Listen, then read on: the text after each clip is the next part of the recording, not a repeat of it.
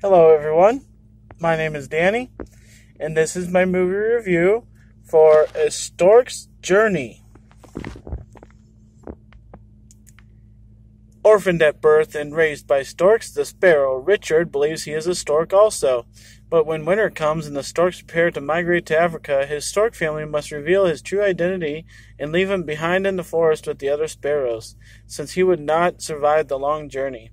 Determined to prove he is a stork, Richard ventures south on an epic adventure, accompanied by friends big and small, to unleash his true potential and be re- reunited with his family. Rated PG, of course, 84 minutes long, 2017 movie. Featuring some voices you know. I'll just leave it at that. So I'm just going to do this movie review while I'm waiting for my car to warm up here. And I just wanted to let everybody know that watches this review that I really like this movie.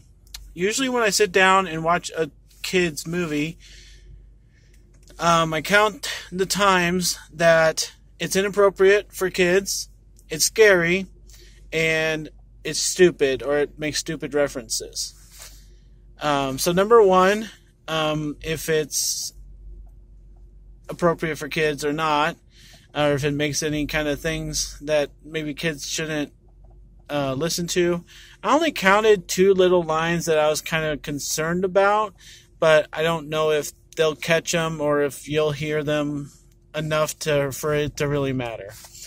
Two is if it's scary, and it quite is. Um, it comes up with the main villain at the end as the honey badger, and along the way, you have a couple things here and there that are quite a fright, like even flying in the clouds with lightning. You know, I mean, it's it's kind of a scary scene and kind of a scary element, and I don't know if kids will be so integrated into it that they'll be scared.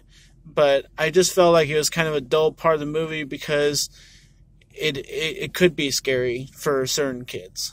So um, sometimes I just invest them in the movie, and that's a good thing.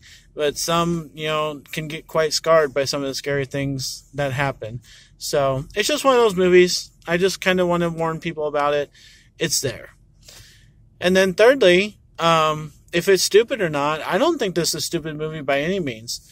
Number one thing that comes off the top of my head is it involves birds, and most of the movies about birds in our generation, um, Guardians was a good one. Um,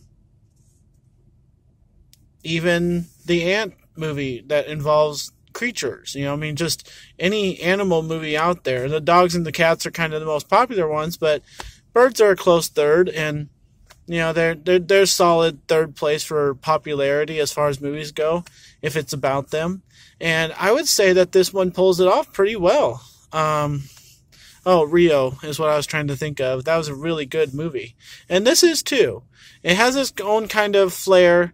It has its own kind of story.